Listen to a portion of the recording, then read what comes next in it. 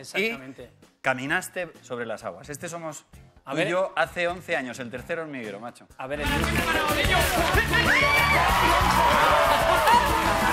fuerte, ¿eh? Mira, mira, mira, mira. ahora te toca a ti, Pablo.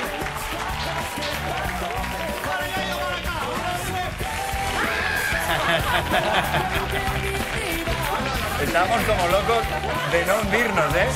Es una pasada, ¿eh? Es que es agua. Qué bueno. Qué bueno. ¿Cómo ha pasado el tiempo?